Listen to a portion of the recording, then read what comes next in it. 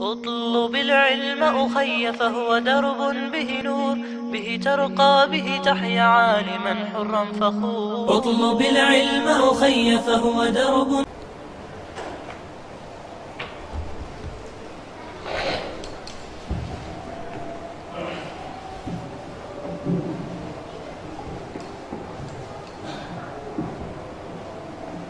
بسم الله الرحمن الرحيم. السلام عليكم ورحمة الله وبركاته.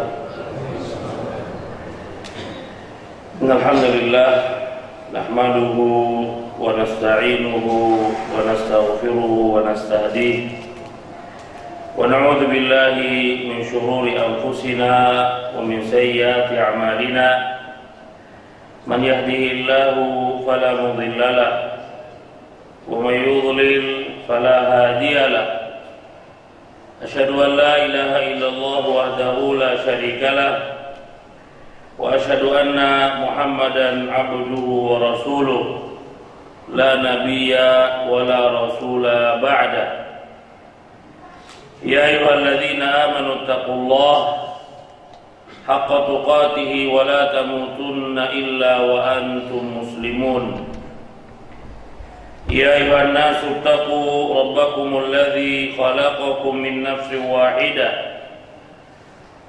وخلق منها زوجها وبث منهما رجالا كثيرا ونساء واتقوا الله الذي تساءلون به والأرحام إن الله كان عليكم رقيبا يا أيها الذين آمنوا اتقوا الله وقولوا قولا سديدا. يصلح لكم أعمالكم ويغفر لكم ذنوبكم. ومن يطع الله ورسوله فقد فاز فوزا عظيما. أما بعد فإن أصدق الحديث كتاب الله وخير الهدي هدي محمد صلى الله عليه وسلم. وشر الأمور محدثاتها وكل محدثة بدعة وكل بدعة ضلالة وكل ضلالة في النار ثم أما بعد Masyarakat muslimin Para jamaah Bapak-bapak, ibu-ibu Saudara-saudari yang dirahmati Allah subhanahu wa ta'ala Puji syukur kita kepada Allah Subhanahu wa taala atas segala limpahan nikmat dan karunia yang Allah berikan kepada kita. Di antara nikmat karunia yang Allah berikan atau yang terbesar yang Allah berikan kepada kita adalah nikmatul iman dan nikmatul Islam serta nikmat kesempatan dan kesehatan sehingga Allah Subhanahu wa taala masih memberikan kesempatan bagi kita untuk bisa bangkit pada pagi hari dalam rangka untuk memenuhi panggilan Allah berkumpul di rumah Allah untuk bisa sholat atau menjalankan sholat berjamaah di rumah Allah.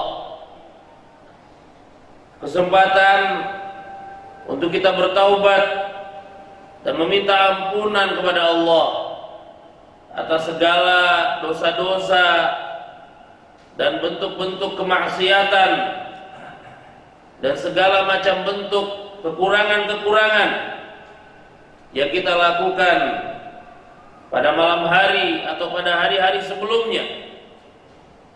Kita diberikan kesempatan untuk bisa beristighfar meminta ampunan bisa untuk mengumpulkan pahala dengan langkah-langkah kaki yang kita langkahkan untuk bisa ke rumah Allah dalam rangka beribadah kepada Allah. Yang mudah-mudahan kita mengharapkan dari apa yang kita lakukan untuk bisa mendapatkan kasih sayang Allah dan ridhonya, mengharapkan akan ampunannya, mengharapkan akan pahala dari apa yang Allah berikan kepada kita untuk amalan kita diterima di sisi Allah Subhanahu wa taala. diampunkan dosa-dosa yang telah berlalu dan dosa-dosa yang akan datang. Diangkat derajat kita di sisi Allah Subhanahu wa taala nanti. Amin ya rabbal alamin. Ikhwani ahibai hafizakumullah jami'an kita akan melanjutkan bahasan kita dari pembahasan kitab Tazkiyatun Nufus Pembahasan kitab tentang pensucian jiwa Yang mana kita sudah masuk kepada pembahasan akan sebab-sebab akan kehidupan hati dan gizi dari hati yang bermanfaat. Ikhwani ahibai hafizakumullah Sebagaimana sebuah jiwa atau tubuh membutuhkan asupan makanan dan gizi dari makanan-makanan dan minuman begitu juga akan hati kita itu pun juga membutuhkan asupan makanan dan gizi yang mana asupan makanan dan gizi bagi hati itu lebih penting dan lebih utama daripada asupan makanan dan gizi yang kita butuhkan untuk tubuh kita. Asupan gizi yang dimasukkan ke dalam hati itu adalah untuk kebaikan dunia dan akhirat kita. Yang kita butuhkan untuk bagaimana kita bisa melangsungkan perjalanan hidup kita di dunia untuk kita bisa beribadah hanya kepada Allah Subhanahu wa taala. Untuk kita bisa meraih akan pahala apa yang kita lakukan dengan kebaikan yang abadi dan kenikmatan yang abadi di akhirat nanti. Makanya gizi dan asupan makanan untuk hati itu lebih penting untuk kita mempelajari dan mengetahuinya dan mengamalkannya dalam keseharian dalam hidup kita. Pada pembahasan yang lalu kita sudah membahas salah satu dari gizi yang menghidupkan hati yaitu berzikir kepada Allah Subhanahu wa taala yang mana kita menyebutkan akan pernyataan Ibnu Qayyim rahimahullah akan manfaat dari berzikir kepada Allah Subhanahu wa taala. Di antaranya yang pertama bahwasanya zikir adalah makanan pokok bagi hati dan ruh. Yang mana hati dan rohani atau hati dan ruh yang tidak mendapatkan hidangan ini sama seperti sebuah tubuh yang tidak mendapatkan asupan makanan. Kemudian yang kedua, bahwasanya zikir itu dapat mengusir, mengekang dan mengalahkan syaitan.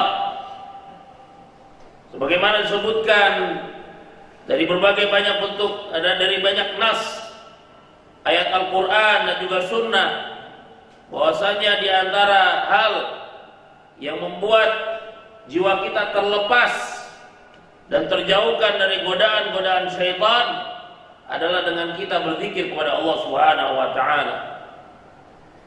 Yang ketiga, bahwasanya zikir akan mendatangkan ridha Allah Subhanahu wa taala.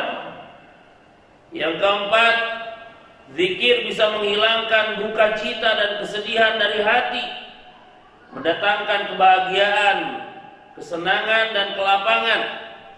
Sebagaimana firman Allah Subhanahu wa taala ala bidzikrillahi tatmainnul qulub.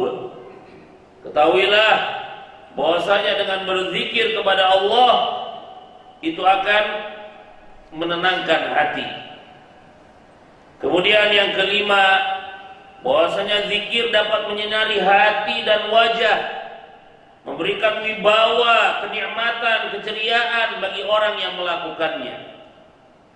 Yang keenam, zikir bisa mewujudkan rasa cinta kepada Allah ketakwaan kepadanya dan kembali hanya kepada Allah Subhanahu wa taala.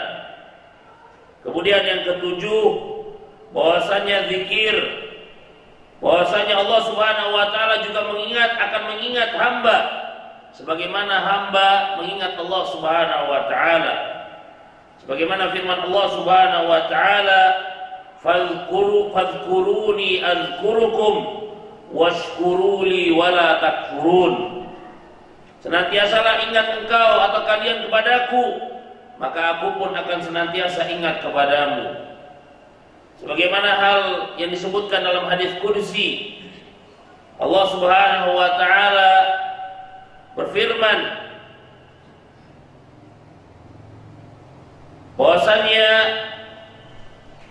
ana inda dhanni 'abdi wa ana ma'ahu hina yadhkuruni Sungguhnya aku tergantung persangkaan hambaku kepadaku dan aku senantiasa bersamanya ketika dia senantiasa mengingat-ingatku. Fa in fi nafsi fi nafsihi fi nafsi. Kalau dia mengingat diriku di dalam dirinya, maka aku akan mengingat dirinya di dalam diriku. Fi mala'in fi mala'in. Kalau dia senantiasa memuji dan memujaku di hadapan makhluk, maka aku akan menyanjung-nyanjungnya di hadapan makhluk yang lebih mulia daripadanya. Allah Subhanahu wa taala akan senantiasa melakukan hal yang lebih daripada apa yang kita lakukan. Padahal kita hanya seorang hamba. Seorang hamba yang lemah. Akan tapi ketika Allah, ketika kita melakukan sesuatu yang kita lakukan untuk mencari ridha Allah, maka Allah akan melipat gandakan dari setiap apa yang kita lakukan. Apakah ada tempat yang lebih mulia ketika nama kita disebut di hadapan makhluk-makhluk yang lebih mulia ya dan lebih sempurna dari apa yang Allah sebutkan kepada kita. Manusia adalah makhluk yang sempurna yang diciptakan oleh Allah di muka bumi. Akan tapi manusia masih banyak memiliki kekurangan-kekurangan. Allah Subhanahu wa taala memiliki makhluk-makhluk yang lebih mulia ataupun lebih taat daripada manusia yaitu para malaikat-malaikat Allah Subhanahu wa taala.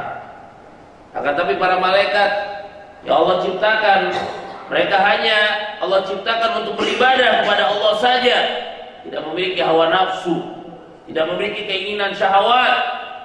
Akan tapi ketika hamba manusia yang Allah berikan cobaan akan kenikmatan, syahwat dan segala macam bentuk cobaan-cobaan, akan tapi dia senantiasa masih tetap berzikir, ya mengingat Allah Subhanahu wa taala dan mencari keridhaan Allah dengan beribadah kepadanya, maka Allah akan muliakan dia melebihi kemuliaan para malaikat. Dia akan dimuliakan, disanjung-sanjung, ya melebihi akan kelebihan apa yang dimiliki oleh para malaikat. Ini adalah merupakan janji Allah Subhanahu wa taala.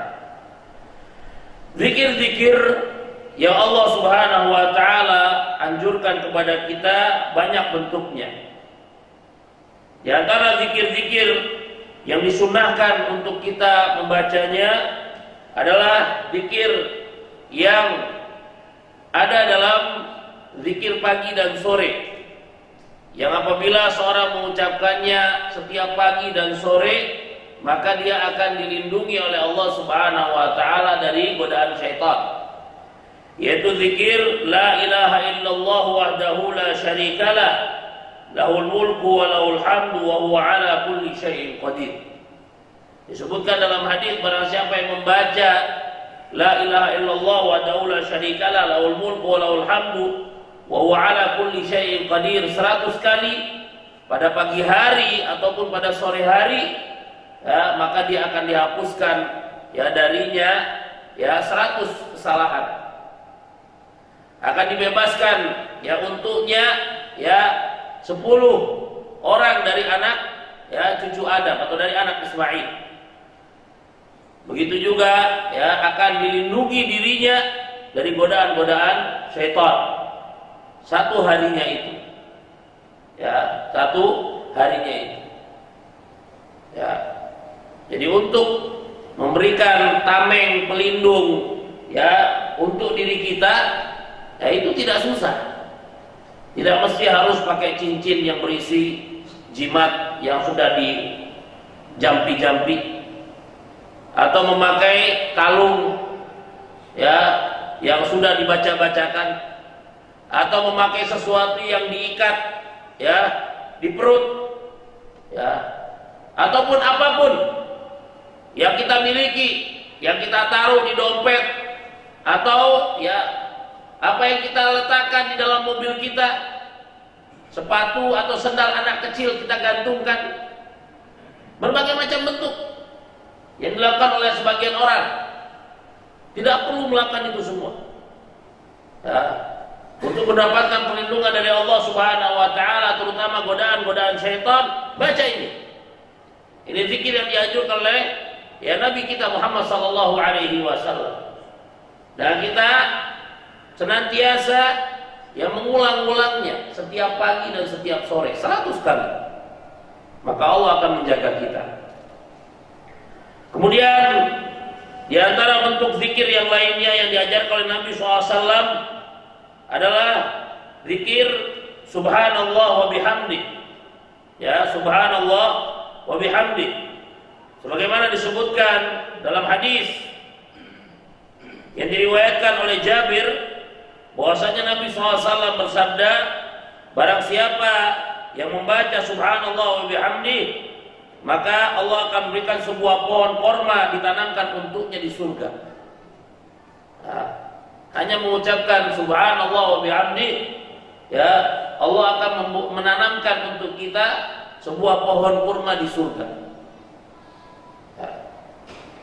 Untuk kita menanamkan tumbuhan yang ada di dunia ya kita butuh beli bibitnya. Ya kita butuh tanah untuk ya kita menanamnya kita butuh untuk menyiramnya dan terus kita memperhatikannya untuk bisa tumbuh ya di dunia ya. akan tapi untuk membangun atau menanam ya sebuah pohon yang ada di surga ya Allah Subhanahu wa taala hanya memerintahkan atau Nabi SAW hanya memerintahkan kepada kita untuk kita senantiasa membaca subhanallah wa. Ya. Ini akan apa namanya? akan Allah tanamkan ya sebuah tanaman di di surga sana. Salah seorang sahabat ridwanullahi alaihim kalau tidak salah namanya Abu Dahdah.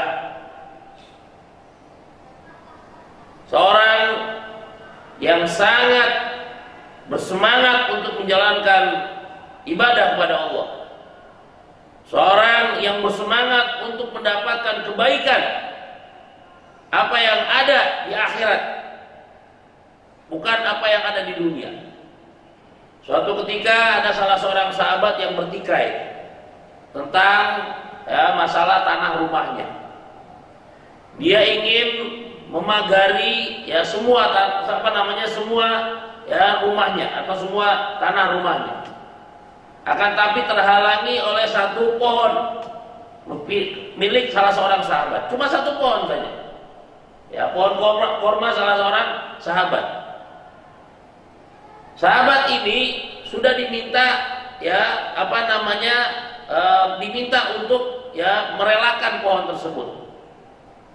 Ima dibeli ya atau dipotong dahannya agar tidak masuk ya terkena apa namanya terkena pagar.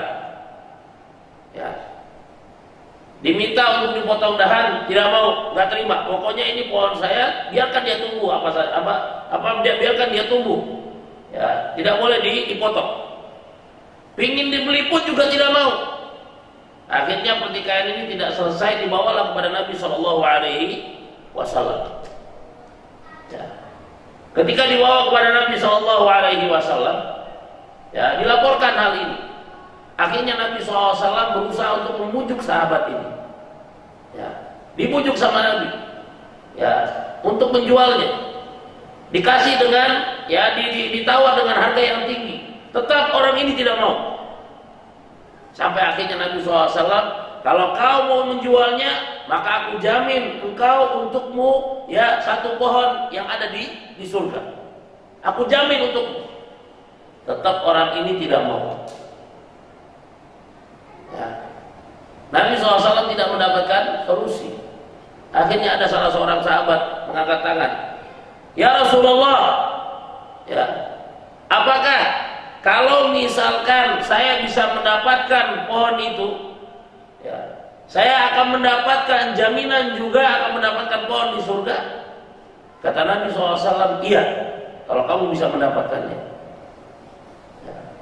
Abu Dahda, seorang ya pengusaha yang dia mempunyai kebun yang kebunnya terkenal di sebuah daerah di kota Madinah yang kebunnya terkenal dengan kesuburannya dan keindahan tempatnya.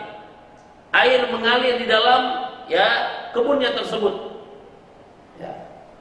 Setiap penduduk Madinah ya berkeinginan untuk memiliki apa yang dimiliki oleh ya Abu Dahdah ini. Abu Dahdah ini. Ya.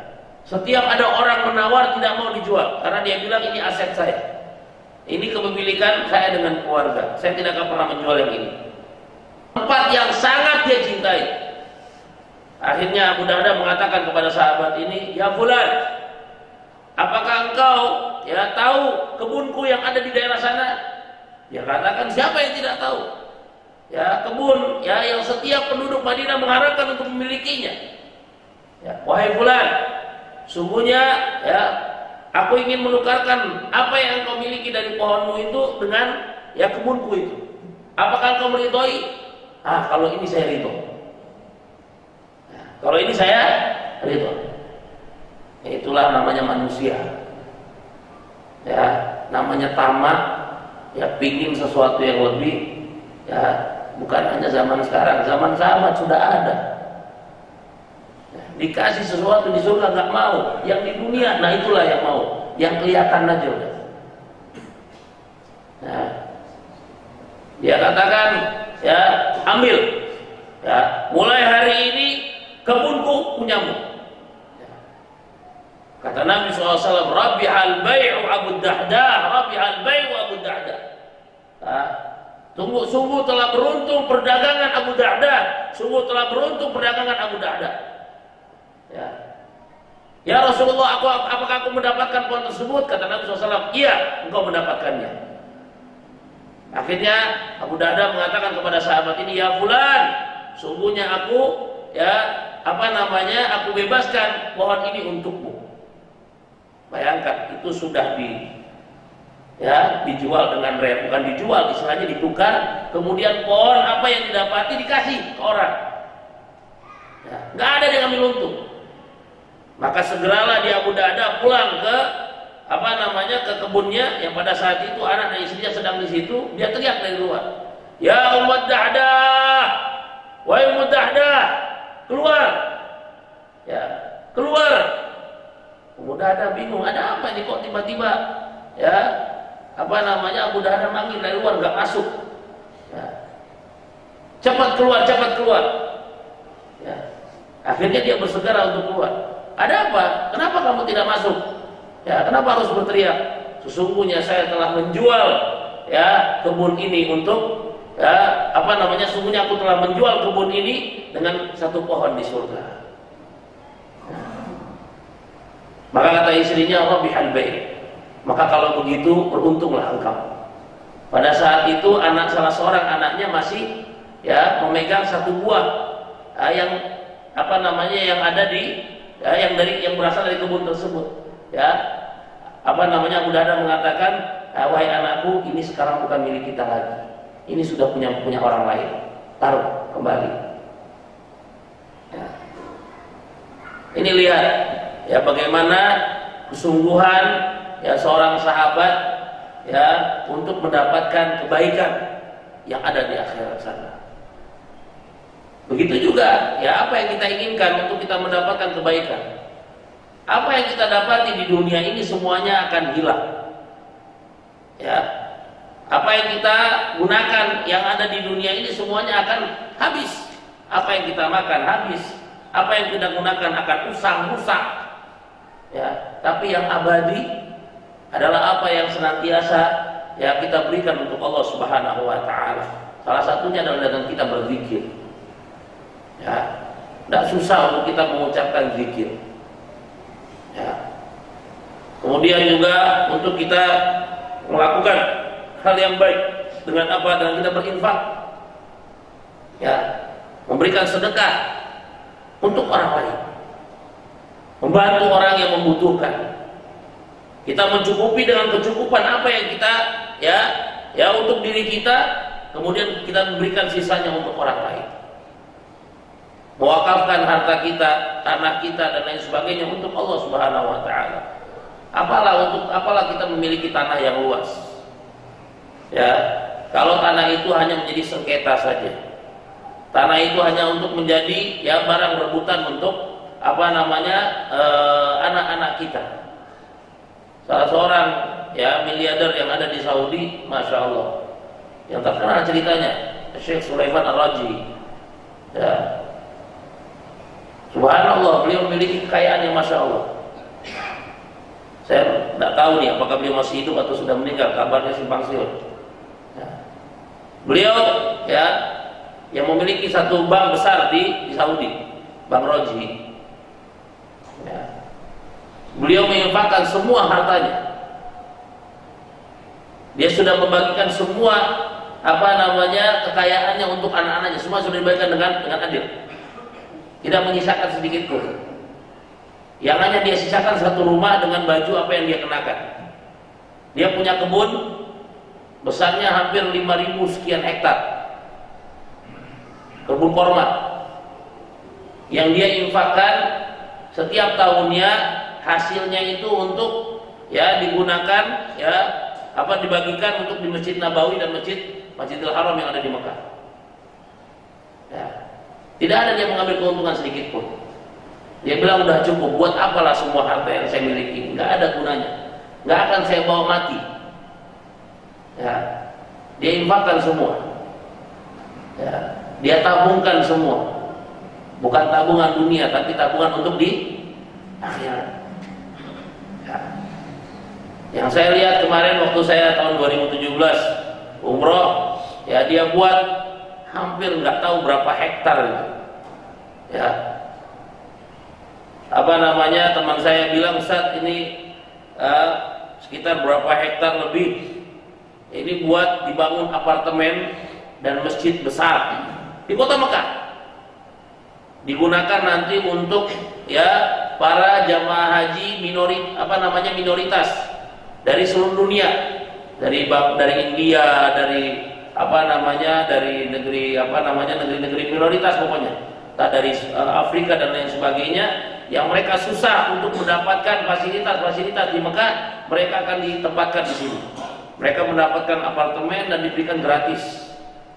Ya segala kebutuhan mereka. Gratis. Karena mereka mungkin hajinya susah kalau makan juga harus minta-minta mereka tidak nanti digratiskan Masya Allah walaupun tempatnya agak lumayan jauh cuman ya akan difasilitasi. Sekarang masih dalam pembangunan. Saya nggak tahu udah saya atau belum. Kalau di Saudi bangun cepat. Ya, setelah saya pernah melihat bangun hotel itu cuma enam bulan. Ya, enam bulan ya sampai 8 bulanan lah. Selesai itu. Ya, cepat bangunnya. Karena uangnya nggak ada yang dikorupsi ya.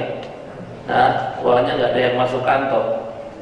Ya, ada yang masuk kantong tapi tidak tahu lah. Tapi kebanyakan subhanallah cepat semua pembangunan itu cepat. Ya, langsung berdiri. Dibuat ya awal ketika selesai dari apa namanya musim haji, ya kemudian musim haji tahun besok sudah bisa digunakan. Ya, udah lengkap semuanya. Ya. Ini ya orang-orang berlomba-lomba dan semua orang yang ada di sana mereka berlomba-lomba ya untuk senantiasa apa namanya me, me, me, me, me, apa menginfakkan harta mereka bukan untuk dunia akan tapi untuk tabungan mereka di akhirat. Kemudian dikatakan oleh Ibnu Mas'ud radhiyallahu taala anhu, sungguh aku bertasbih kepada Allah beberapa kali lebih aku sukai daripada menginfakkan dinar di jalan Allah sejumlah ya jalan, di jalan Allah sejumlah ucapan tasbih tersebut. Ya. Ini perkataan Ibnu Mas'ud ini ya diucapkan karena saking mudahnya untuk kita meng, apa namanya untuk kita mengamalkan amalan ibadah. Ya, hanya dengan mengucapkan dengan lisan ya tanpa kita harus mengeluarkan harta ya kita sudah mendapatkan pahala di sisi Allah Subhanahu wa taala. Setiap orang bisa melakukannya. Yang tidak punya uang, tidak bisa berinfak, banyaklah berzikir kepada Allah Subhanahu wa taala. Kemudian di antara bentuk-bentuk zikir yang lainnya adalah ya zikir yang kita ucapkan setelah sholat. Ya, subhanallah 33 kali, alhamdulillah 33 kali, Allahu akbar 33 kali, Kemudian disempurnakan dengan la ilaha illallah wahdahu la syarikalah, lahul mulku wa lahul hamdu wa ala kulli syai'in qadir. Ini juga merupakan zikir. Ya, yang mungkin sebagian di antara kita ya ada yang lalai. Ketika selesai sholat ingin cepat-cepat bangun. Ya, ingin cepat-cepat selesai. Ya, padahal zikir-zikir tersebut ya akan mengampuni dosa-dosa kita. Ya akan mengampuni dosa-dosa kita. Kemudian zikir subhanallah walhamdulillah wala ilaha illallah wallahu akbar. Ya, zikir ini pun juga ya di, dianjurkan. Lukut zikir la ilaha illallah diulang-ulang. Ya, enggak usah sampai 100 sampai 1000 kali enggak usah. 100 kali ya kemudian ditambah dengan zikir yang lain ntar diulang lagi dengan zikir la ilaha illallah enggak perlu la ilaha illallahnya sampai 1000 kali enggak perlu dihitung sampai segitu enggak perlu ya takutnya menyelisih sunnah karena zikir mengucapkan la ilaha illallah sampai seribu kali itu ya saya tidak tahu sunnahnya dari mana. Ya, mengucapkan la ilaha illallah sampai terakhirnya hu hu. Ya. Ini tidak tahu sunnahnya dari mana ini. Yang ada dianjurkan dibataskan, dibatasi. Ya sampai 100 kali tambah dengan zikir yang lain. Walaupun nanti harus mengulang lagi ketemu lagi dengan la ilaha illallah. Misalkan misalkan istighfar 100 kali, subhanallah 100 kali, alhamdulillah 100 kali, Allahu akbar 100 kali, la ilaha illallah 100 kali. Ya, subhanallah wa bihamdi subhanallahil azim. Ya, 100 kali. Ntar ketemu lagi la ilaha illallah wa la syarikalah, lahul mulku wal hamdu wa la kulli syai'in qadir 100 kali misalkan. Ya, pengen kita banyak zikir. Nah, itu di, divariasi zikirnya. Ini tidak apa-apa. Tapi kalau misalkan hanya satu zikir sampai ya seribu kali. Nah, ini khawatir nggak ada tuntunannya karena saya belum pernah dengar. Kalau Nabi berzikir la ilaha illallah sampai seribu kali. Wallahu a'lam. Mungkin karena, kekurangan ilmu saya. Kemudian juga ya zikir-zikir yang lainnya ya yang banyak atau yang yang diajar oleh Nabi ya Shallallahu Alaihi Wasallam. Masyaallah muslimin, para jamaah yang dirahmati Allah Subhanahu wa taala, di antara bentuk berzikir juga adalah dengan kita membaca Al-Quran. Ya, dengan kita yang membaca Al-Quran. Yang mana ya Al-Quran adalah merupakan zikir yang terbaik. Karena Al-Quran di dalamnya mengandung akan obat hati dari segala macam penyakit. Sebagaimana Allah Subhanahu wa taala berfirman dalam surat Yunus ayat 57, "Ya ayuhan nas, Rabbikum wa shifaa'un lima fis sudur wa hudan wa rahmatun lil mu'minin. Wahai manusia, sungguh telah datang kepadamu pelajaran Al-Qur'an dari Rabbmu sebagai penyembuh bagi penyakit yang ada dalam dada dan petunjuk serta kasih sayang bagi orang yang beriman. Jadi kalau ingin mencari obat penyakit hati, penyakit kesumpekan dan kegalauan nggak jauh-jauh. Baca Quran. Baca Quran. Nggak bisa baca Quran dengerin Al Quran dengerin Al Quran ya. saya mendengar dari salah seorang dai sebuah cerita bahwasanya ada salah satu rumah sakit yang ada di ya di luar sana di Amerika atau apa di mana ya. Tempat ya rumah sakit orang yang gilanya sudah akut. Ya, udah susah. Itu didapati ketika datang ke sana ya salah satu ruangannya itu didengarkan apa? Ya terdengar di dalamnya itu ya didengarkan akan Al-Quran. Ya, didengarkan lantunan Al-Quran ini entah ceritanya benar atau tidak kan tapi ya bisa jadi mungkin. Ya, salah seorang ya apa namanya anak muda berusaha untuk istilahnya membuktikan akan keajaiban apa yang ada dalam Al-Quran. Dia keliling di sebuah kota di Eropa sana ya dia dengarkan orang untuk mendengarkan Al-Quran. Ya. Sebagian mereka ada yang tahu sebagian besar nggak tahu tapi ketika dibacakan akan Al-Quran ditanya apa yang anda rasakan? Dia bilang saya merasakan ketenangan. Saya merasakan kayaknya saya berada di sebuah tempat yang tenang jauh dari kebisingan. Sebagian di antara mereka ada yang menangis. Padahal nggak ngerti ayat nggak, ngerti maknanya subhanallah. Lihat apa yang didapati oleh hati-hati yang mereka hampa dari zikir kepada Allah ataupun mereka menutupi hati mereka dari ya mengikuti jalan Allah Subhanahu wa taala. Mereka merasakan ketenangan kenyamanan dengan mendengarkannya. Bagaimana dengan kita? Yang setiap hari diri kita itu ditempa untuk kita beribadah kepada Allah. Diajak untuk mengingat Allah. Ketika kita lagi galau, tidak tenang dan ya hati kita tidak nyaman, ya kita mengembalikan ya atau melarikan ya diri kita untuk melakukan kemaksiatan. Kenapa kita tidak membaca Al-Quran? Kenapa kita tidak mendengarkan ayat-ayat suci Allah Subhanahu wa taala? Kenapa kita harus lari untuk ya mendengarkan ayat-ayat syaitan dari nyanyian-nyanyian ya lantunan-lantunan lagu dan lain sebagainya. Yang sebagian orang mengatakan dengan nyanyian-nyanyian ini akan mendatangkan ketenangan. Mendengarkan lagu-lagu yang melo katanya. Itu akan mendatangkan kenyamanan dan lain sebagainya.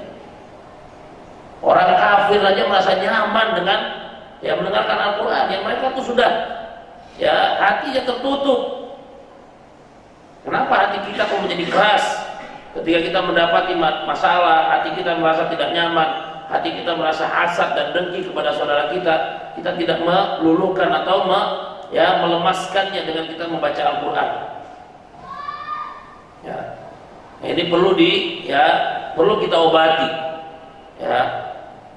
Dan bahwasanya ya Al-Quran adalah syifa penyembuh ya pelipur lara ya dari apa namanya pelipur lara dari ya hati kita yang sakit.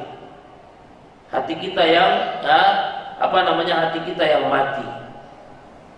Ini perlu di ya diairi ya atau di apa nama disirami dengan ayat-ayat suci Allah Subhanahu wa taala begitu juga firman Allah Subhanahu wa taala dalam surat Al-Isra ayat 82 yang artinya dan kami turunkan dari Al-Quran sesuatu yang menjadi penawar dan rahmat bagi orang yang beriman sedangkan bagi orang-orang zalim Al-Quran itu hanya akan menambah kerugian ya.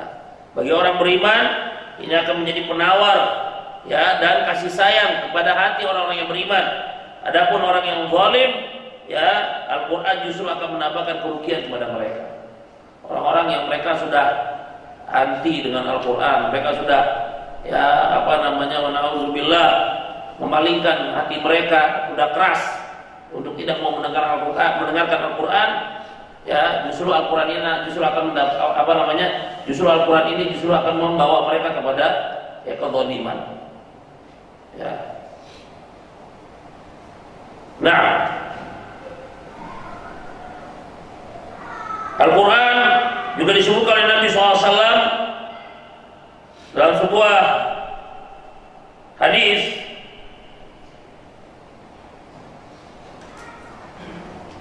Bahwasanya Al-Quran itu akan memberikan syafaat ampunan ya bagi ya mereka yang membacanya ketika kita dihadapkan oleh Allah Subhanahu wa taala Setiap kita mempertanggungjawabkan dari setiap apa yang kita lakukan. Ketika tidak ada lagi yang memberikan ampunan atau pertolongan dari setiap apa yang kita lakukan, maka Al-Quran akan menjadi syafaat, pemberi ampunan bagi kita. Bagi mereka yang senantiasa selalu membacanya dalam kesehariannya, maka Al-Quran akan, akan memberikan syafaat, ya ampunan kepada kepadanya, akan bersaksi ya untuk kita untuk memberikan ampunan dari apa yang kita kita lakukan. Kemudian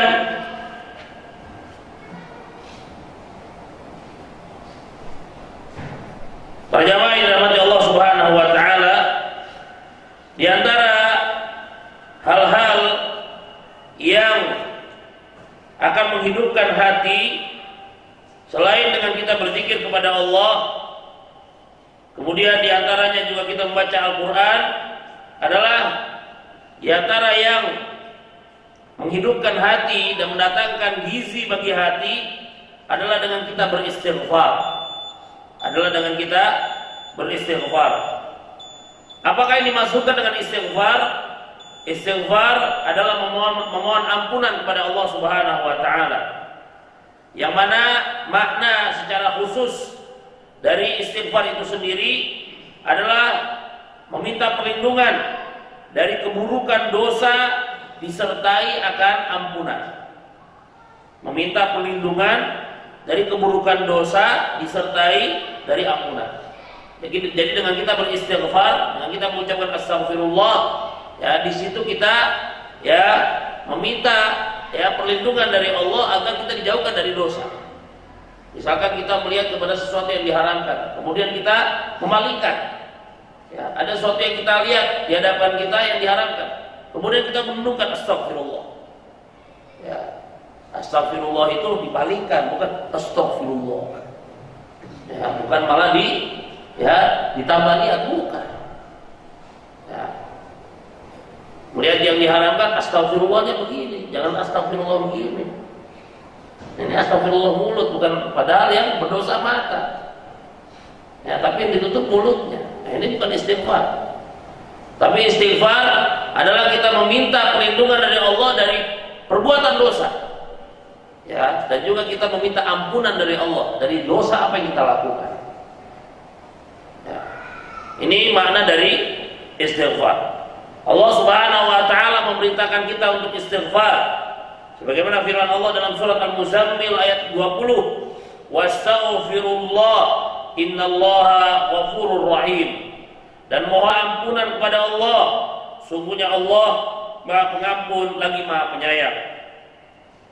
Allah Subhanahu wa taala juga senantiasa memuji-muji orang-orang yang senantiasa beristighfar kepadanya Sebagaimana firman Allah Subhanahu wa taala dalam surat Ali Imran, "Wal mustaghfirina bil ashar" dan mereka yang memohon ampun di waktu sahur.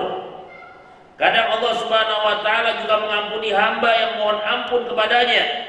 Seperti yang Allah sebutkan di dalam surat An-Nisa ayat 110, "Wa may ya'mal su'an aw yadhlim nafsahu thumma yastaghfirillah yajidillaha ghafuran rahima. Dan barang siapa yang berbuat kejahatan dan menganiaya dirinya kemudian dia memohon ampunan kepada Allah niscaya dia akan mendapatkan Allah Maha Pengampun lagi Maha Penyayang. Istighfar sering kali disebut berdampingan dengan taubat. Saat keduanya disebut bersamaan. Istighfar berarti memohon ampun dengan lisan. Adapun taubat adalah melepaskan diri dari dosa-dosa dengan hati dan seluruh anggota tubuh. Hukum istighfar adalah sama seperti doa. Jika berkehendak Allah memperkenankan dan mengampuni orang yang memohon ampunan. Terlebih ketika pemohon ampunan diucapkan dari hati yang menyesali segala dosa ataupun bertepatan dengan waktu-waktu mustajab seperti waktu sahur dan selepas sholat. Ya, jadi istighfar ya ini hampir mirip seperti doa. Allah akan mengampuni ya berkenan untuk mengampuni dosa kita ya sebagaimana Allah mengijabahi doa. Nah, Allah akan mengijabahi doa ya selagi kita menjauhkan dosa. Tapi kalau Allah kalau, kalau tapi kalau kalau kita melakukan dosa, maka Allah tidak akan mengampuni ya Allah tidak akan mengijabahi doa kita. Begitu juga dengan istighfar. Ya. Disebutkan dalam sebuah hadis ya sabda Nabi SAW Inna Allah tayyibun la yaqbalu illa tayyiban Sungguhnya Allah itu baik mencinta tidak akan menerima kecuali yang baik. Akhir dari hadis itu disebutkan akan seorang yang bersafar dalam perjalanan yang jauh, ya mukanya penuh debu, ya mukanya penuh debu, rambutnya kusut, ya kemudian dia me, apa namanya mengangkat kedua tangannya, seraya dia mengucapkan ya Rabbi ya Rabbi, akan tapi apa yang dia makan dari sesuatu yang haram. Apa yang dia kenakan, ya dia mengenakan sesuatu yang haram. Apa yang dia masukkan dari gizi ke dalam di, ke dalam dirinya dari sesuatu yang haram. Bagaimana Allah akan menjabahi permintaannya? Ya. Jadi ketika kita ya bermaksiat kepada Allah dengan melakukan banyak ya, bentuk maksiat dan kita belum bertobat dari itu, maka Allah tidak akan mengampuni ya atau tidak akan mengijabahi doa kita. Begitu juga dengan istighfar. Sebagaimana disebutkan bahwasanya Allah Subhanahu wa taala tidak akan mengijabahi ya orang yang memutuskan hubungan silaturahim. Orang yang bermusuhan dengan saudaranya. Memutuskan hubungan ya dengan sanak kerabatnya. Memusuhi mereka, tidak mengampuni mereka, tidak memintakan maaf untuk mereka. Ya, Orang seperti ini tidak akan pernah di ya diterima doanya. Begitu juga dengan istighfarnya. Bagaimana caranya? Dia harus minta maaf dan memaafkan. Ya, dan berusaha untuk membimbing saudaranya. Jangan diputuskan.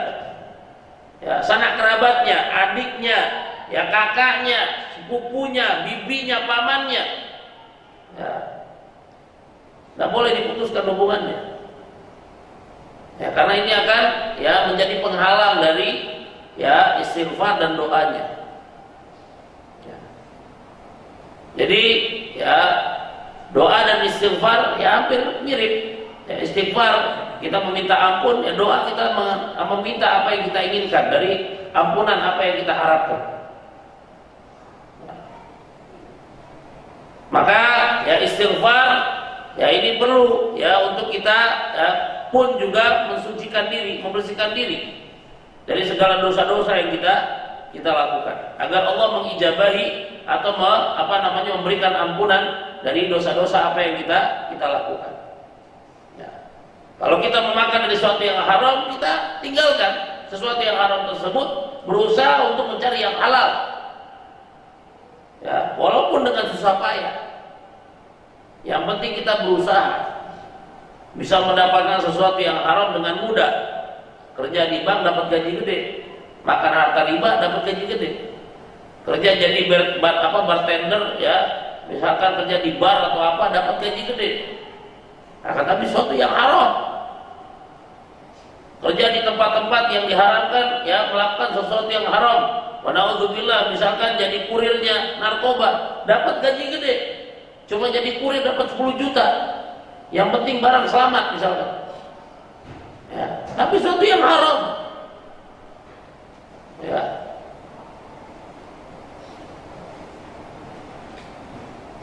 Mengusahakan atau membantu orang dengan apa namanya ya mengkorupsi uang ya uang anggaran anggaran apa yang sudah ditetapkan misalkan nah, ini juga haram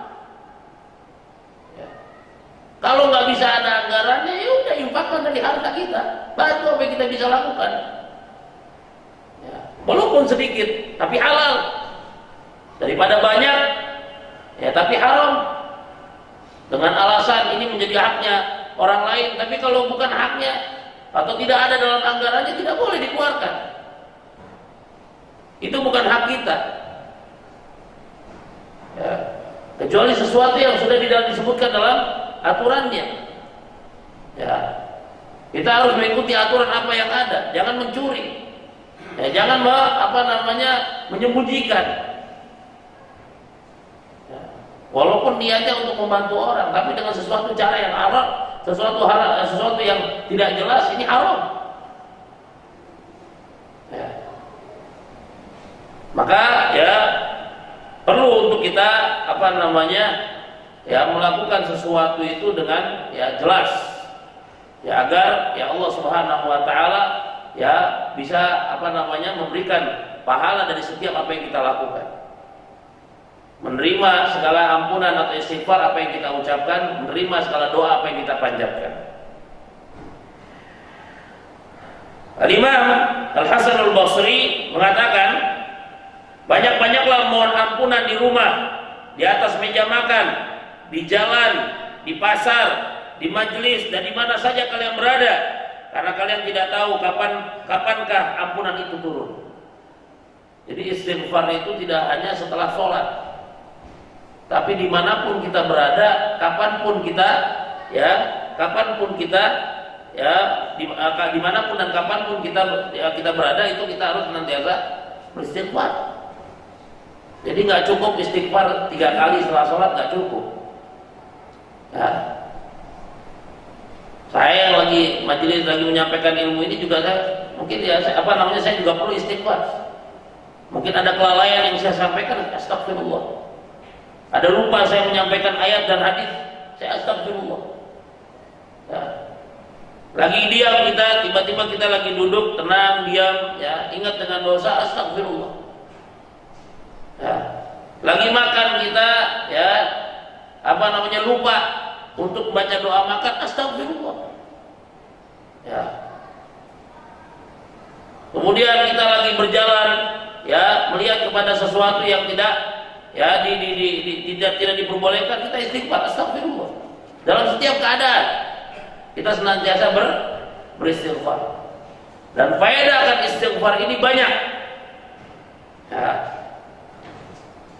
Barang siapa yang ingin ya kaya banyaklah beristighfar barang siapa yang apa namanya perkebunannya atau ya perdagangannya ingin beruntung banyaklah beristighfar Barang siapa yang ingin memiliki keturunan yang sudah lama nggak punya keturunan, banyaklah beristighfar. Barang siapa yang ingin disembuhkan dari segala penyakit, banyaklah beristighfar. Maka di saya Allah akan ya memberikan ya apa yang kita inginkan. Tiga orang ini datang kepada Hasanul Basri. Satu orang datang ya kepada Hasanul Basri. Ya, ya Hasan, ya. Sungguhnya ya kebun saya atau pertanian saya ya terkena hama. Ya sehingga saya tidak mendapatkan keuntungan. Saya tidak mendapatkan panen. Maka apa yang saya lakukan? Istighfar. Bersifatlah kepada Allah datang lagi orang kedua ya ya imam ya sungguhnya saya belum mendapatkan ya anak maka apa yang harus saya lakukan Istighfirullah.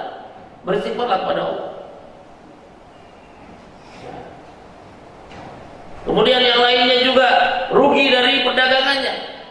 Ya. Dijawab istighfirullah, istighfir, minta ampunan kepada Allah. Akhirnya ya apa namanya? Ya muridnya bertanya-tanya, bertanya-tanya kepada ya Hasan Basri, ya Imam. Dari tadi pertanyaannya ya apa namanya pertanyaannya berbeda-beda tapi jawabannya cuma satu. Ya engkau hanya menjawab untuk senantiasa ber, beristighfar. Kenapa seperti itu? Akhirnya Al-Imam Al-Hasan Al-Basri yang membacakan ayat Allah Subhanahu wa taala dalam ya surat uh, dalam surat Nuh ya.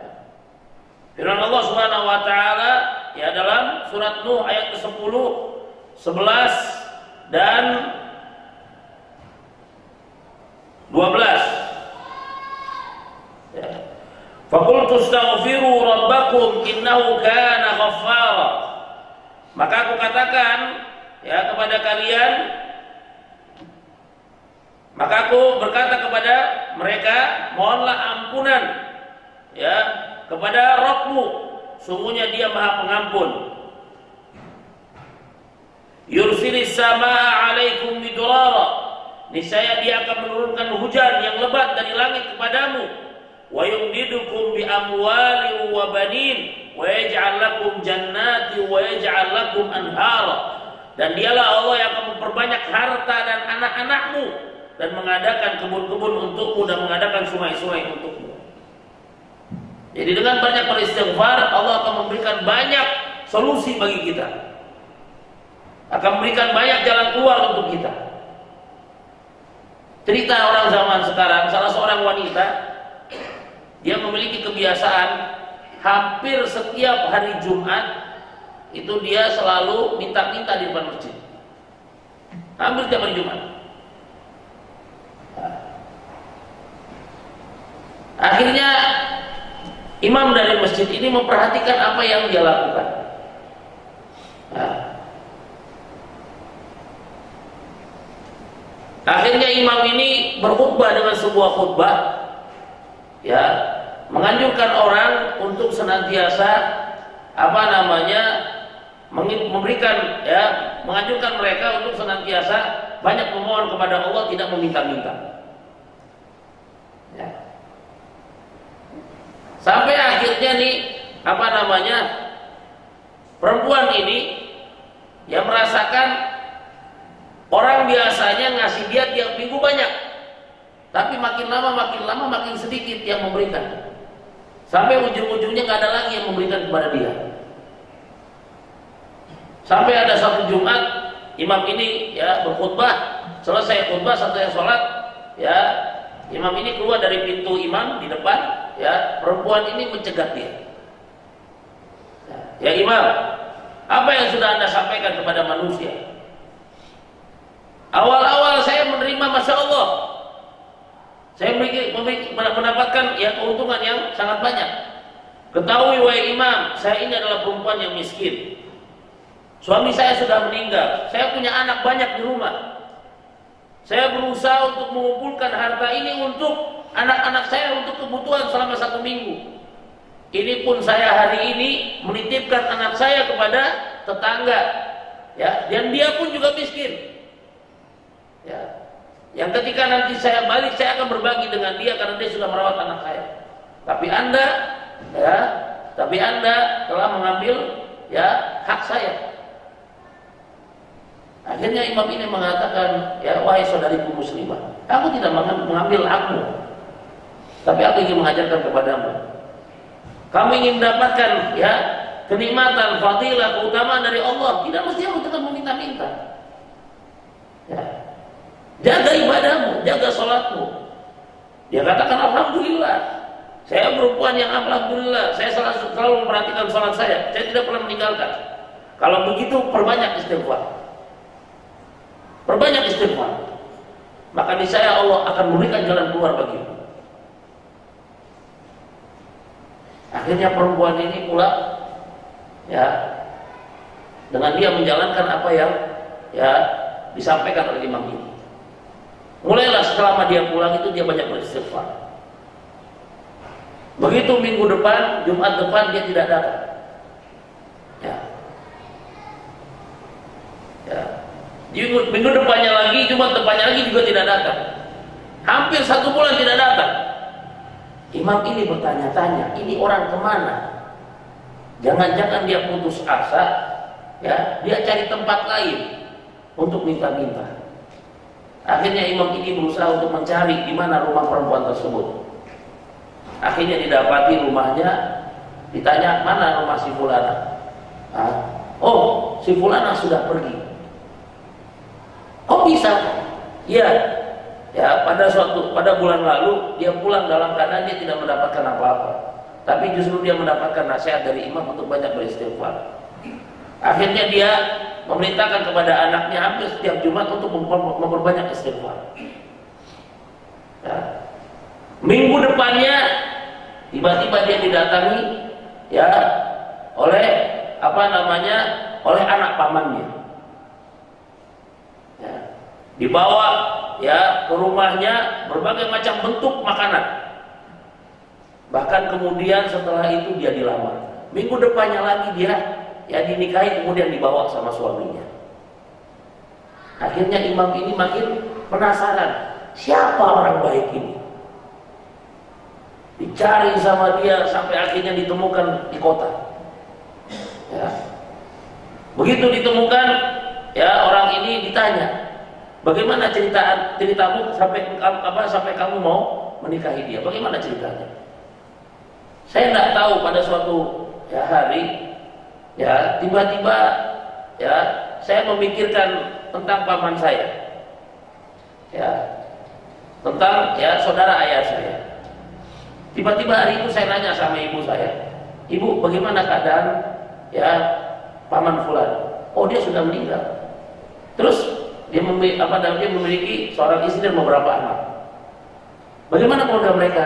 Mereka tinggal di sebuah kampung dengan dengar dia miskin. Bu, kalau gitu yuk kita pergi ke sana. Ayo, nggak apa-apa ya beli ya, pergi ke sana sambil dalam perjalanan beli kebutuhan untuk mereka sampai di sana didatangi ya sudah lama mereka tidak ketemu ya dihampiri oleh ponakan-ponakannya ya dikasih semua kebutuhan mereka. Ketika keluar dari rumah ketika hendak keluar pulang balik ke kota ibunya bilang sama anaknya nak ah, kamu nggak ingin nikahi dia? Loh kok ibu tiba-tiba ada pikiran seperti itu? Iya nak kasihan. Dia tinggal di ya, rumah semacam ini dan dia tidak punya suami toh juga ya perempuan itu masih muda dan cantik lagi ya, dan cantik lagi apa kata orang ini kalau ibu restui kalau ibu ridhoi saya akan nikahi dia kalau begitu ya sudah sekalian aja Hari itu dilamar. Hari itu dilamar, kemudian dipersiapkan minggu depannya menikah, langsung ya disiapkan untuk perempuan ini rumah yang besar. Ya. Dan ternyata orang ini ya salah seorang ya miliarder ya yang ada di kotanya. Nomor dua atau nomor tiga. Ya, seorang miliarder besar yang yang ada di daerah tersebut. Ya. Subhanallah. Hanya dengan istighfar dan keyakinan wanita ini pada Allah meminta ampunan tanpa harus meminta-minta. Yang masalah yang ada di sebagian kita ya kurangnya keyakinan dengan istighfar yang kita ucapkan. Akhirnya apa? Ya, akhirnya Allah tidak akan ya Allah tidak memberikan kecuali ya apa yang kita butuhkan saja cuil saja karena kita nggak yakin sama Allah kita masih yakin ya sesuatu yang harus kita dapati itu ya dengan apa namanya bekerja sampai melupakan atau melalaikan ibadah kepada Allah. Nah ini jadi masalah. Ya. Ketika waktu senggang, kita banyak lalai dengan mengingat Allah. Ya justru malah berusaha untuk sibuk mencari dunia. Sampai lupa waktu. Ya. Sehingga ya Allah ya apa namanya Allah kita abaikan. Allah kita abaikan, Allah pun juga mengabaikan kita. Ya.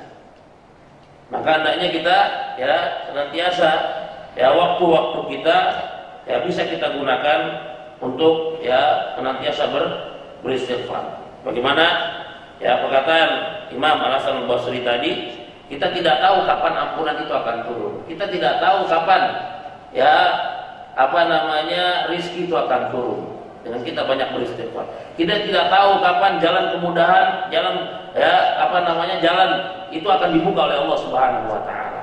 Kalau jalan belum terbuka terus senantiasa beristighfar.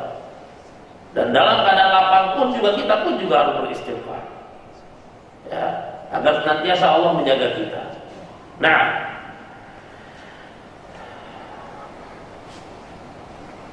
dan masih banyak pernyataan-pernyataan yang lain dari perkataan-perkataan para ulama yang menyebutkan akan keutamaan-keutamaan istighfar. Di antaranya perkataan Aisyah. Aisyah berkata radhiyallahu anha beruntunglah orang yang mendapati banyak istighfar dalam lembaran catatan amalannya. Ya beruntunglah bagi orang yang mendapati banyak istighfar dalam lembaran catatan amalnya jadi setiap harinya kita senantiasa banyak beristighfar sehingga catatan kita nanti di akhirat lebih banyak untuk diampuni oleh Allah Subhanahu wa taala. Imam Qatadah berkata, Al-Qur'an menunjukkan penyakit Al-Qur'an menunjukkan penyakit dan obat kalian. Penyakit kalian adalah dosa dan obat kalian adalah istighfar.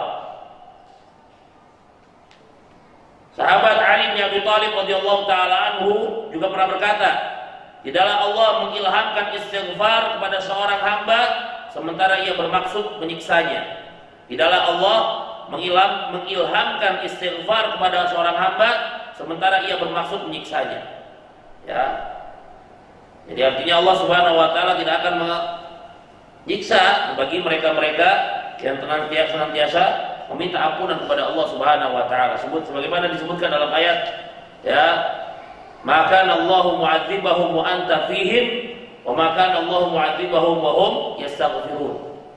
Ya, tidaklah Allah Subhanahu wa taala akan menurunkan siksanya kepada ya, kepada kepada sebuah kaum selagi engkau ya masih ada pada mereka dan dan tidaklah Allah akan menurunkan azabnya kepada mereka selagi mereka senantiasa beristighfar. Kalau ingin dijauhkan dari bala berbagai macam bentuk cobaan, ujian, ya ujian-ujian ya dalam kehidupan, bala, ya musibah yang ada dari cobaan-cobaan alam, maka banyaklah beristighfar. Banyaklah beristighfar. Ya, kejadian apa yang ditimpa oleh saudara-saudara kita yang ada di Lombok, kemudian Donggala, ya Palu, kemudian beberapa waktu lalu saya dengar lagi ada kejadian lagi gempa lagi di Sulawesi, masih daerah Sulawesi juga. Kemudian ada, ada apa namanya kejadian banjir di Sumatera Barat. Ya. Dan berbagai macam bentuk ya berbagai macam bentuk musibah yang ada di tempat-tempat yang lain. Ingin agar musibah itu tidak turun kepada kita, banyaklah beristighfar. Banyak meminta ampun pada Allah. Ya, dan menjauhkan dosa dari apa yang kita lakukan. Maka niscaya Allah akan menjaga daerah kita, melindungi kita dari berbagai macam bentuk musibah. Dan masih banyak lagi ya manfaat-manfaat dan pernyataan-pernyataan dari para ulama dan ayat-ayat dan sabda-sabda Nabi SAW yang menyebutkan akan keutamaan-keutamaan is istighfar. Wallahu taala alam sampai sini yang bisa saya sampaikan. Mudah-mudahan apa yang saya sampaikan bermanfaat. Ada yang kurang mungkin ya, itu adalah merupakan kekurangan dari diri saya dan dari syaitan dan saya minta ampun kepada Allah. Ada yang ya benar dan lebih itu datang dari Allah Subhanahu wa taala. Mudah-mudahan kita bisa mendapatkan manfaat dan faedah dari apa yang kita pelajari pada hari ini. Wallahu taala alam bisawab. Mungkin ada yang ingin bertanya, saya persilakan.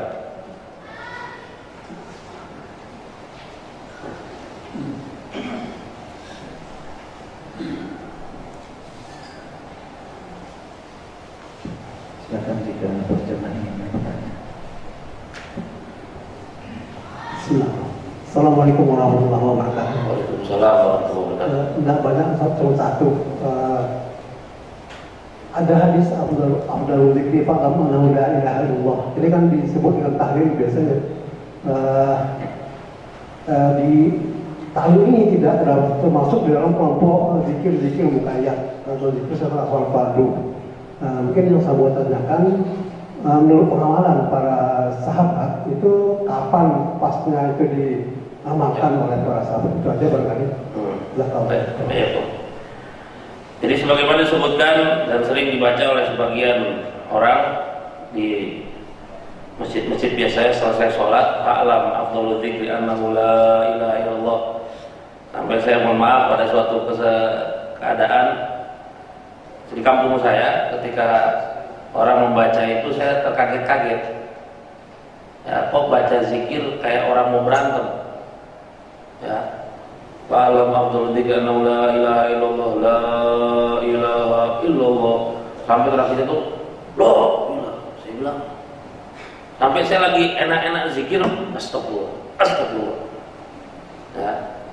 Jadi zikir yang mestinya kita tidak perlu menyampaikan atau mengucapkannya. Ya sampai mengangkat suara semacam itu cukup dengan suara yang terdengar oleh lisan oleh telinga kita sudah cukup sebenarnya.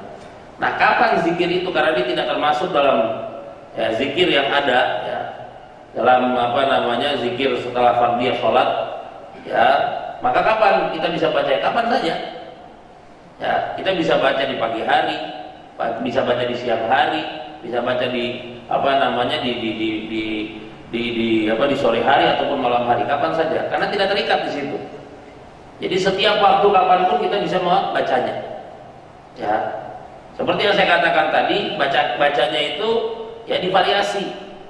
Ya bacanya 100 100 jangan seperti saya apa namanya dibaca seribu kali langsung enggak.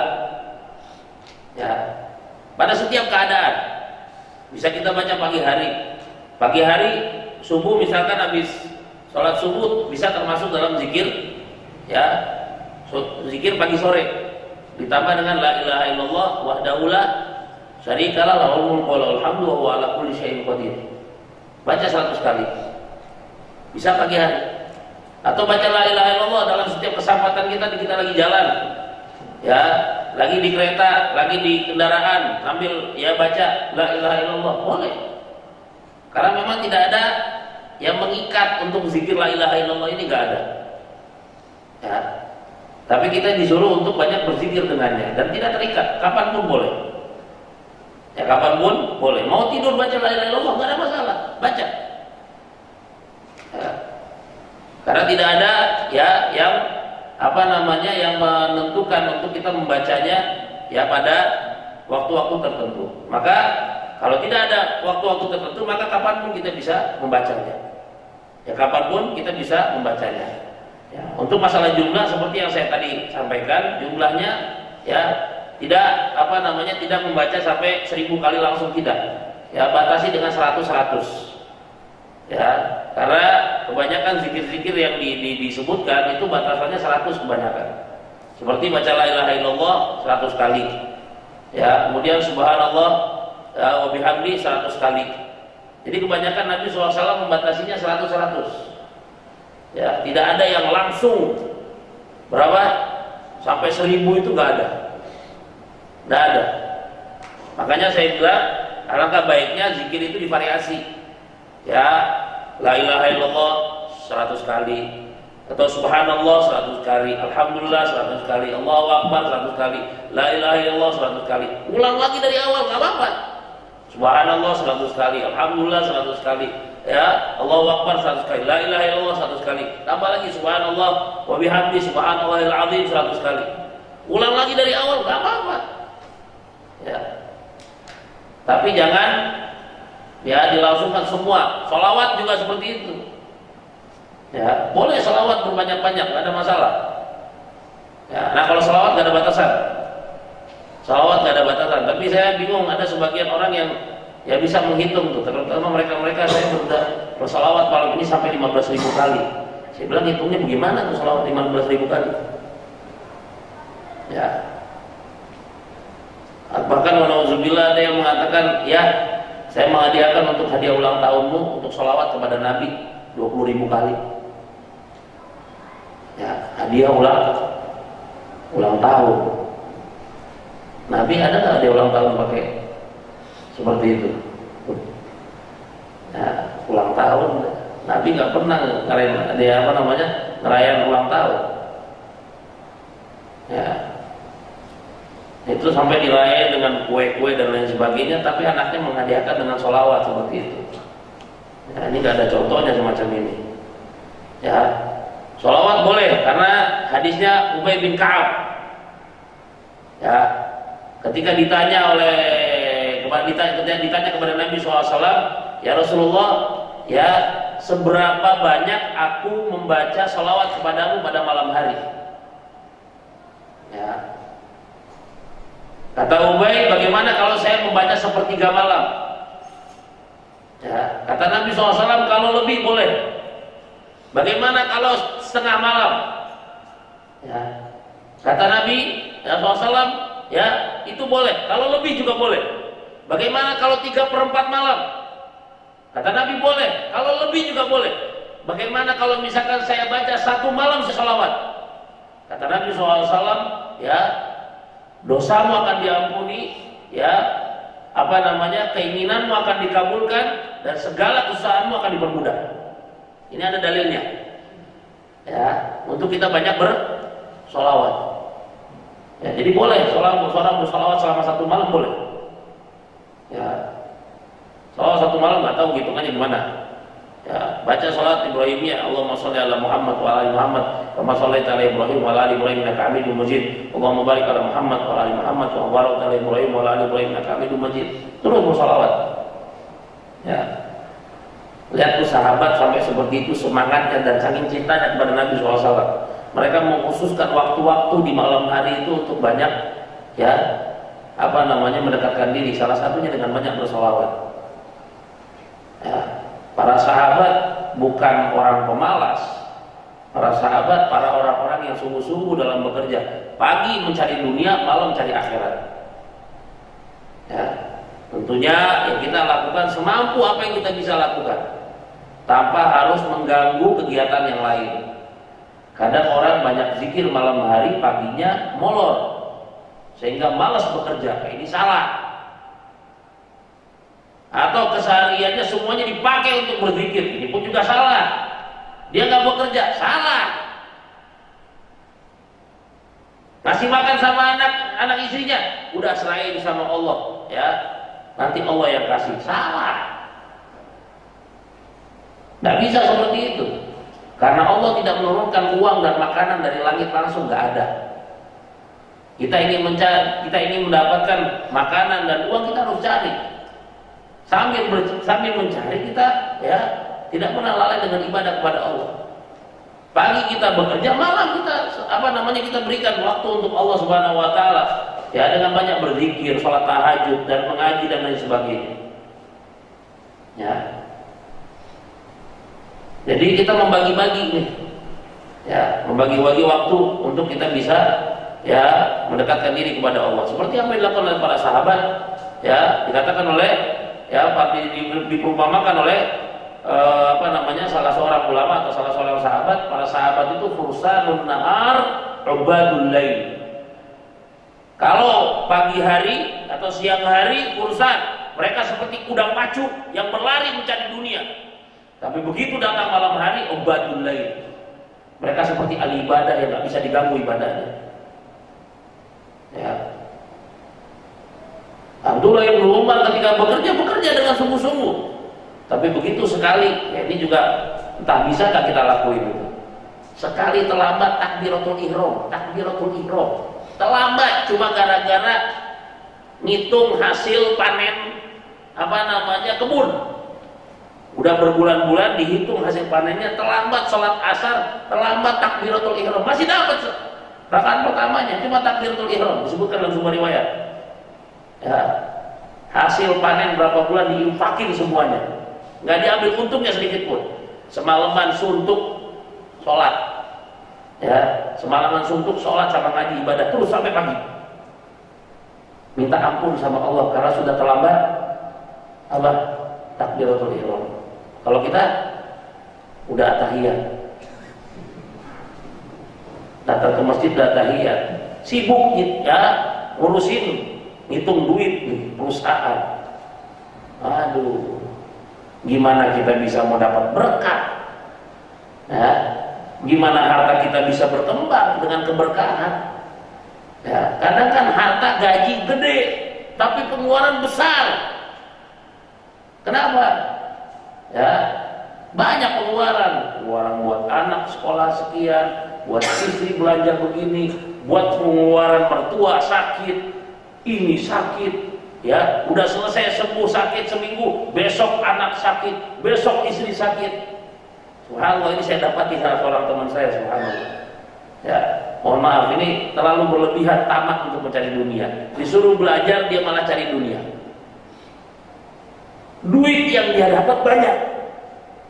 Tapi setiap saya ketemu sama dia oh masya Allah saya puji-puji dia masya Allah Masya Allah Allah dapat Allah apa namanya Allah berkahi kerja ente dan apa namanya uang ente. Allah akhi. Ya. Anak subhanallah. Minggu ini istri anak sakit. Hah? Minggu sebelumnya mertua saya masuk rumah sakit. Ya. Selesai minggu depan ketemu lagi ngeluh lagi. Anak saya sekarang masuk rumah sakit. Istri udah keluar anak anaknya masuk rumah sakit. Saya bilang hidup ini nggak kelar kelar dari Hah? dari musibah nih saya bilang ya akhi takilah ya akhi. Takut itu sama Allah. Anak khawatir kerjanya nggak berkah nih saya ngeluh terus. Ya. Saya bilang cobalah ente banyak istighfar aja. Ente muhasabah kita kila ya masa tiap minggu ada aja yang sakit? Uangnya habis saya dapat di teman saya yang lain yang dia sibuk dengan belajar ilmu. Subhanallah. Ya. Waktu itu saya ngasih bantuan dia minta bantuan sama saya untuk pelunasan utang saya ajukan apa namanya nggak belum dapat kabar dari kantor saya di Kuwait. Nah, setelah berapa bulan dapat kabar untuk bantuan teman-teman yang hendak menikah, kemudian bantuan teman-teman yang punya utang. Akhirnya saya datang ke Masjid Nabawi, ketemu sama dia, saya ingin kasih kabar. Sebelum dia kasih kabar, dia kasih kabar dulu ke saya, Yusuf. Anda mau ngasih kabar sama itu, Masya Allah. Pada saat itu dia sudah mau lulus pada saat itu. Ya. Ada apa? Masya Allah, Alhamdulillah. Kenapa? Saya dapat bantuan. Bantuan apa? Saya dapat bantuan untuk bikin perpustakaan di Indonesia. Berapa? 10 ribu buat bangunan, 10 ribu real buat bangunan, 6 ribu buat bukunya. Masya Allah. Allah ibarik fi. Saya bilang mudah-mudahan Allah berkahi. Ya, dan saya juga ingin memberitahu kabar gembira buat Anda. Kenapa? Ini ya saya baru dapat kabar ya saya baru dapat kiriman uang ya untuk pelunasan utang anda nih uangnya alhamdulillah ya ini orang nggak pernah ngeluh kerjaannya cuma dia sibuk dengan ilmu jarang dia sibukkan dengan kerjaan dan lain sebagainya ya sibuknya ilmu ilmu belajar majelis ilmu dan lain sebagainya Subhanallah, keluar kemudahan-kemudahan yang Allah berikan sama dia. Saya bedakan nih, bandingkan dengan teman saya yang tamak untuk mencari dunia dengan dia yang nih mencukupkan dengan apa yang didapati dan dia serahkan semuanya unsur kepada Allah. Datang kemudahan-kemudahan saya sama geleng-geleng kepala. Dua orang teman saya yang masya Allah, ya akan tapi dia memberikan ya dua keadaan yang berbeda. Yang ini Allah kasih cobaan terus, yang ini Allah kasih kemudahan double apa namanya kemudahan-kemudahannya. Ya, jadi ya hendaknya kita bisa membagi-bagi waktu untuk ya untuk kita senantiasa banyak berzikir kepada Allah. Allah taala alam jadi seperti itu Pak. Jadi zikir la ilaha illallah itu apa namanya bisa diucapkan kapan pun. Ya, karena dia tidak ada ikatan. Ya, tidak terikat dengan apa namanya dengan waktu. Jadi diucapkan kapan saja boleh. Allah a'lam. Nah,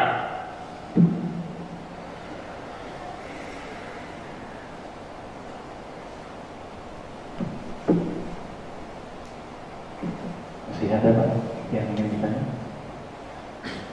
Dokter, ada mau bertanya Betul. tentang mendengarkan dengan terdengar. Ini kan dua kata yang berbeda. Mendengarkan itu dengan kesadaran, tapi terdengar itu tanpa kita sadari. Nah, ketika misalnya kita mendengarkan Al-Quran atau terdengar Al-Quran, kadang-kadang kan di mobil atau kita di rumah kita menyetel muratal sementara kita sibuk dengan pekerjaan kita apakah ini juga sesuatu yang dibenarkan padahal hati kita sibuk dengan misalnya di mobil kita ngobrol tapi muratal tetap jalan nah ini bagaimana hukumnya Ustaz? begitu juga kadang-kadang di masjid di setel di masjid masjid untuk apa namanya menunggu waktu Jumat padahal kita masih sibuk semuanya dengan uh, nah ini apakah bagaimana hukumnya dan kita berharapkan dengan mendengarkan itu hati kita menjadi dengan baik Ustaz.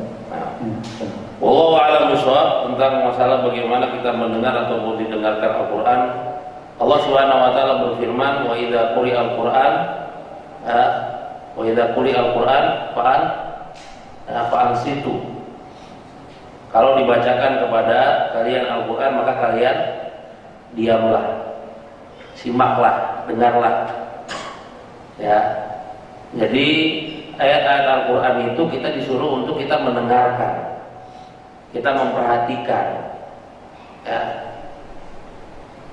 Maka Allah alam ya dari ayat yang disebutkan dalam firman Allah ini jadi kita dianjurkan untuk kita mendengarkan dan setiap apa yang kita lakukan kita ingin mendapatkan pahalanya itu kita meniatkan untuk untuk melakukannya Al-Quran ingin dapat pahala ya kita dengarkan bukan didengarkan ya kita sibuk dengan hal yang lain.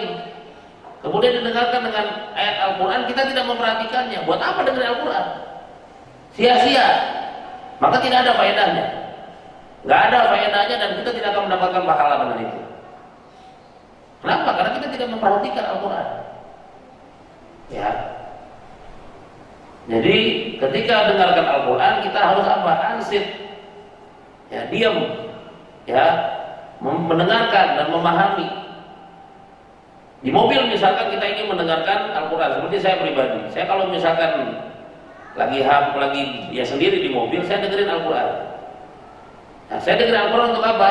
Ya pertama untuk menjadikan suasana di mobil itu tidak diam ada sesuatu yang membuat pikiran ini terarah. Ya gak ngantuk. Kemudian yang kedua kadang buat murojaah saya mendengarkan ayat-ayat itu untuk murojaah hafalan ya jadi Mengharapkan dari apa yang didapati itu untuk mendatangkan ketenangan dalam diri. Ya. Pertama yaitu tadi ya biar tidak hampa. Kadang kita kalau lagi bawa mobil, apalagi kalau jalan kosong hampa, berkhayal ke mana-mana. Nyetel Al-Quran masuk telinga, ya ada sesuatu yang terarah. Apalagi kalau misalkan ngerti dan paham dengan ayat-ayat itu. Ya, Apalagi kalau yang bacanya kore-kore yang suaranya bagus, kadang saya suka niru. Jadi berusaha untuk mendengarkan. Ya. Tapi kalau di setel cuma hanya sekedar ya mohon maaf ketika di mobil ya kita menyetel kita dengan anak dengan istri ya kita setel tapi kita malah sibuk ngobrol dengan anak kita dengan istri kita ini gak ada manfaatnya matikan saja lebih baik ya. Justru malah kita mendapatkan dosa. Karena apa? Menyetel Al-Quran tapi kita tidak diam untuk mendengarkannya. Itu malah dapat dosa. Ya. maka tidak apa namanya tidak ada faedahnya. Jadi ya yang mendapatkan pahala adalah kita mendengarkan.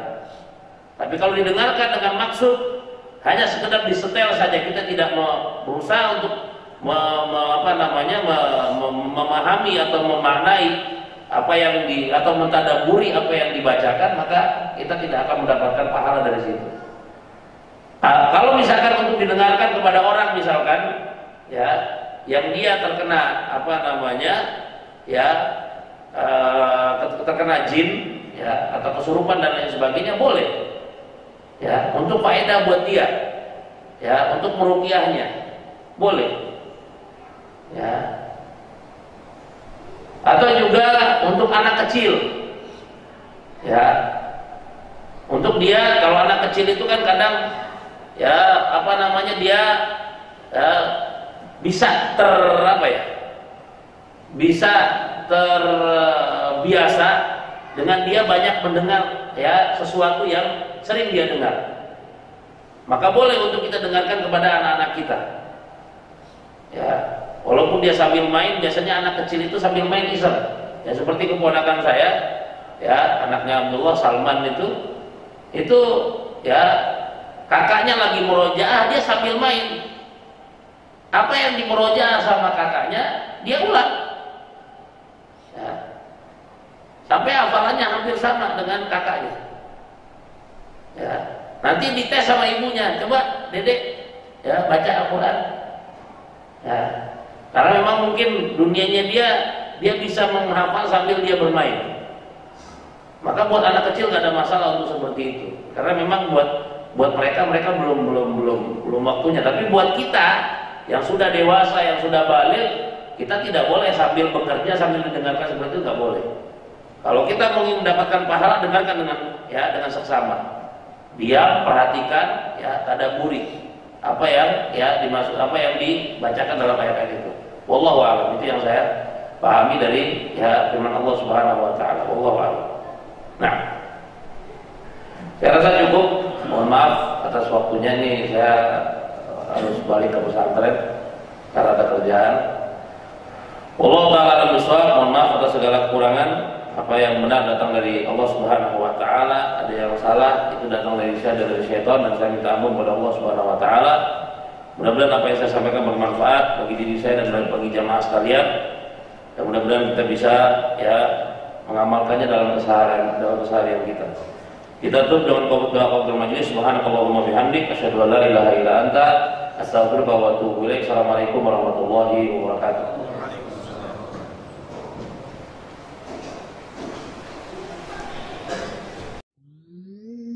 اطلب العلم أخي فهو درب به نور به ترقى به تحيا عالما حرا فخور. اطلب العلم أخي فهو درب